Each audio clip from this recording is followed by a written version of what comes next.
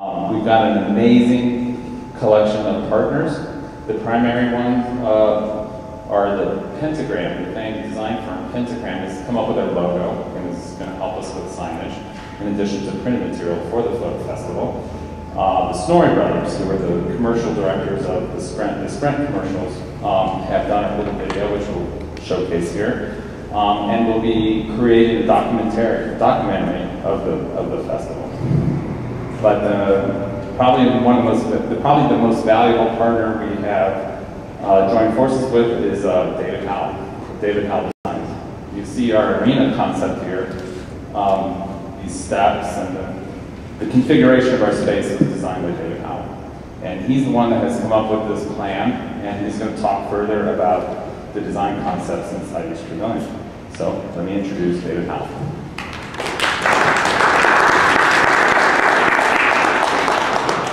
Thank you, Dan. I run a small architectural business in Union Square, originally a Kiwi.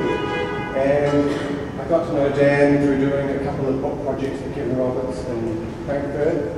And he can be pulled into these very fascinating, interesting projects that Powerhouse comes up with. Um, let me explain some of the, uh, first background. As an architect, you get to build somewhat um, creative, edgy structures, so you're always restrained by some physical um, property, budget, clients, etc. Here, when we're dealing with representing artists, and it was very fascinating meeting with uh, four curators, is that the work they showed was so inspiring, such on the edge, the photography, the video, and that was when the first meeting was like, this is a really cool opportunity to do something which embraces these creative people, but also offers some sort of link to how we present so many people, so many artists in a community like Dumbo. So we came up with two different, or two connected, and one of the, the concept of it was to link, about linking, about connections.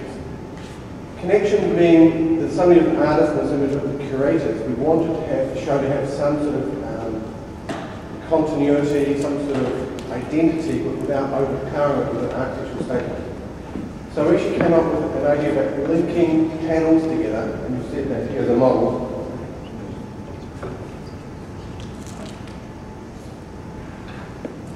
So you sort of like it's a barrel of monkeys, so they're all linked together with arms, literally we wanted to create a panel system out of Plyboo, which is self-supporting and creates quite an amorphous and fractured wall present, onto which we present the photography. And material,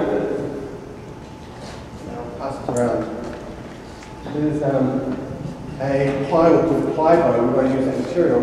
It's not a white wall, it's not a monotonous theory of show photography on a white wall. It's presenting it as part of the environment. We also want to have the material be recycled back into the construction industry at the end.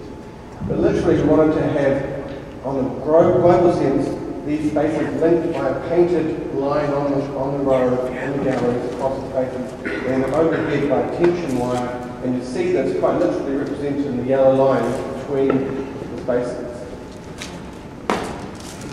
The other really important idea that we've, um, we've, we've tried to preserve here is that we, while we're occupying space, we're also trying to um, offer a a way that the art's seen in each space, which is quite individual. So in each space, we're trying to have elements that are linking panels and still use part of the existing architecture. So there'll be cinder block, there'll be some drywall, some McMillan, a beautiful industrial environment. And that's really the sort of overall presentation, um, how we perceive the show and how we see that the, the panels are put together.